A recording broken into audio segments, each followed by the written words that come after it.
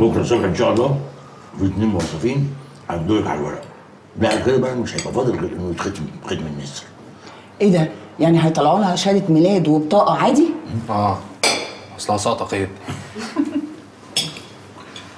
هنخلص عشان وننزل على طول لا على طول إيه أنتوا هتستنوني ساعتين اخد الشاور بتاعي وانشف شعري ساعتين إيه ده أنتوا رايحين فين والله يا ماما إحنا كنا يعني نازلين كده نشتري شوية حاجات لكن العجيبة بقى إن الأستاذ طارق تفضل وتنازل وهيجي معانا.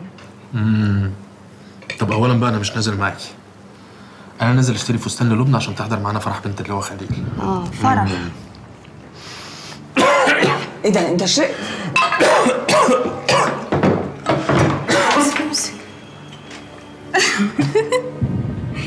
بنات كتير بتجيب في سيرتك.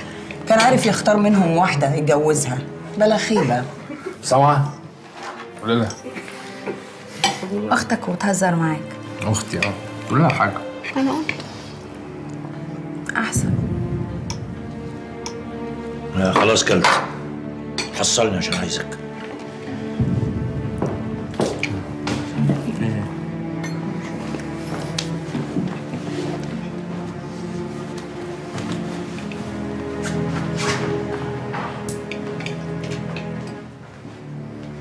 خير يا حاج لاحظ حاجة غريبة يا طارق بينك وبين لبنى مش فاهم. اسمع يا طارق. صحيح لبنى بنت طيبة ولطيفة بس إحنا ما نعرفش عنها أي حاجة. فما ينفعش إنك استنى تفكر بس يا حاج. ما ده الكلام اللي أنا قلته في الأول. الموضوع اختلف. صحيح هي بنت غلبانة ومسكينة وإحنا بنعطف عليها بس برضه ما ينفعش نحبها. ولا نفكر نتجوزها. انت نسيت انت مين. نسيت أبوك يبقى مين.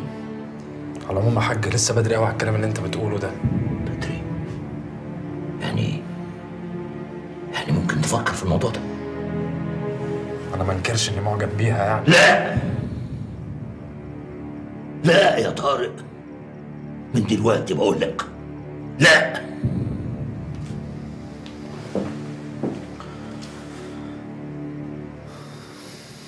بالصلاة على النبي يا أستاذنا. الإيجار المفروش ده ليه شروط وخصوصا لما تبقى اللي هتأجر وهتسكن واحدة ست. أيوه ما أنا مش هبقى معاها برضه قوي يا عمنا. راشد ده يبقى ابن عم جوزي. يعني زي أخويا بالظبط. هيجي يشق عليا ويمشي على طول يعني ما يضرش. بس صلوا على النبي.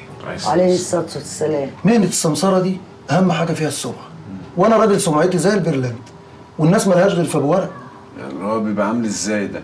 راجل وست ساكنين في شقة مفروش مع بعض. آه. يبقوا حاجة من الاتنين. يا اخوات يا متجوزين. آه. متجوزين رسمي زي الفل. متجوزين عرفي. ما يضرش. من غير ورق ما عنديش شقة مفروشة طب والله.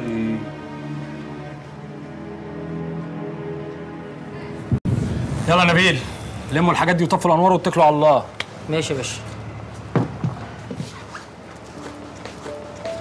إيه آه معاكي حق. وأنا نسيت أقول لك. بس أنا هتجوزك. إيه؟ بقول لك هتجوزك انت سمعتيني. أنا أول مرة أطلب من حد الطلب ده.